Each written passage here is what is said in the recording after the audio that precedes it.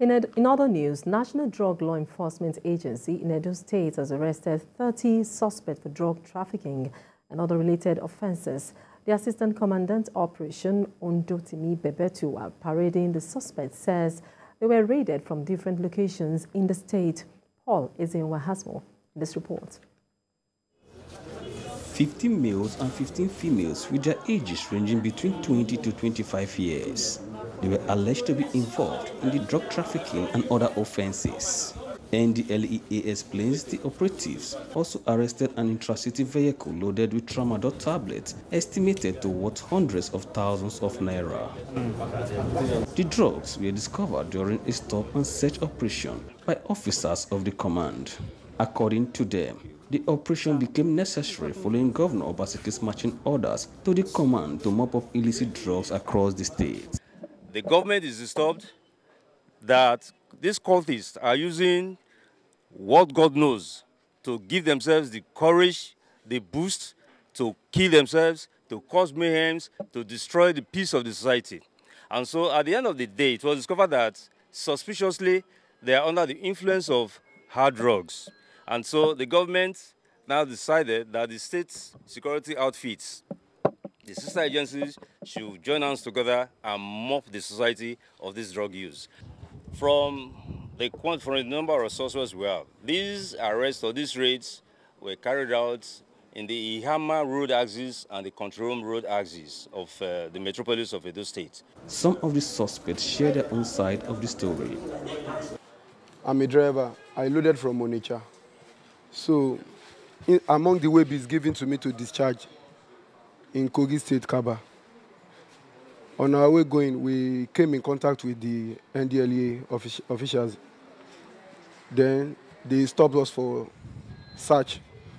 While searching the vehicle, they met some tramadols in my vehicle.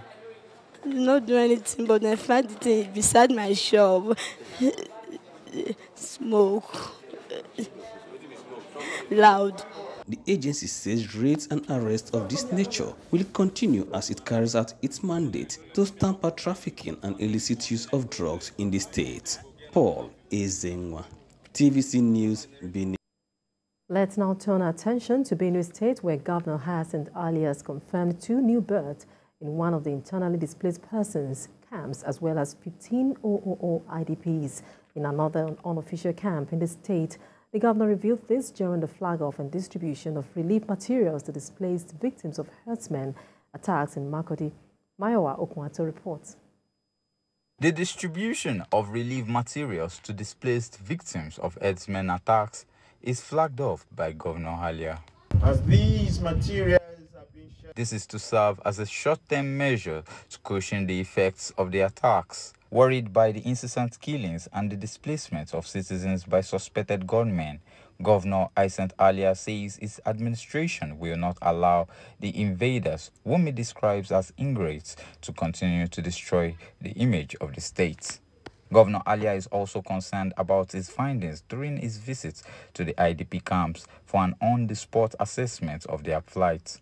He discovered about 15,000 IDPs in one of the camps tagged unofficial camp, lacking basic amenities, including water, shelter, and food, among other things. Remains my priority to get them back home to their ancestral farmlands, and we can never settle for less on this.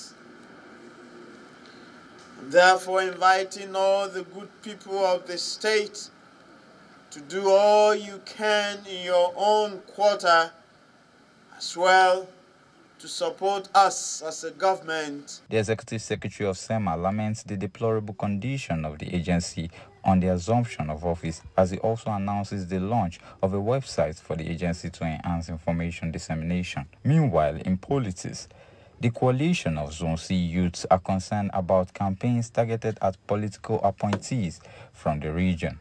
The recent alleged blackmail of the Deputy Speaker of the Benue State House of Assembly by persons they term as unscrupulous is an example of this. In the person of Right Honorable Lamin Danladi Lawrence is conspicuously in the news for blackmail, and this is seen being sponsored by elements some from our zone and some from outside the zone. The group notes that the office of the Deputy Speaker is for the entire state and not.